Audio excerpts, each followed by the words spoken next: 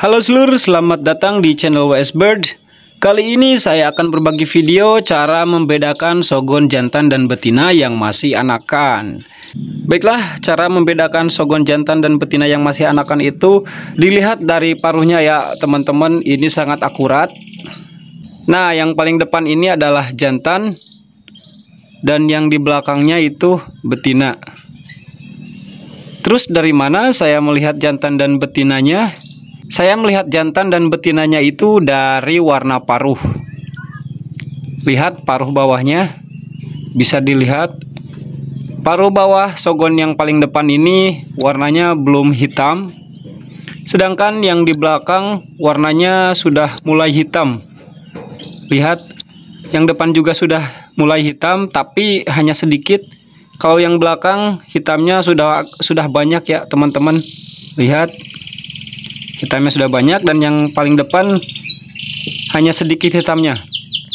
Dan dengan cara ini bisa dipastikan sogon yang di depan yaitu sogon jantan. Kalian bisa buktikan sendiri teori yang saya jelaskan kepada kalian. Ini terbukti akurat dan sangat jitu untuk membedakan sogon jantan dan betina yang masih anakan ya khususnya. Untuk yang masih hijauan juga sama seperti ini. Lihat saja paruh yang paling bawahnya kalau betina warna paruh bawahnya sudah mulai hitam atau yang hijauan sudah hitam, sedangkan untuk jantan paruh bawahnya belum hitam. Silahkan lihat sogon punya kalian yang masih anakan, yang hijauan ataupun yang sudah metalik.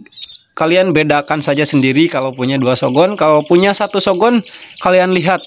Jika kalian masih bimbang sogon kalian jantan atau betina ya, silahkan lihat paruh bawahnya apakah sudah hitam pekat atau belum. Kalau belum, sudah bisa dipastikan itu adalah jantan. Oke, seluruh. Uh, silakan jika ada pertanyaan, tulis di kolom komentar.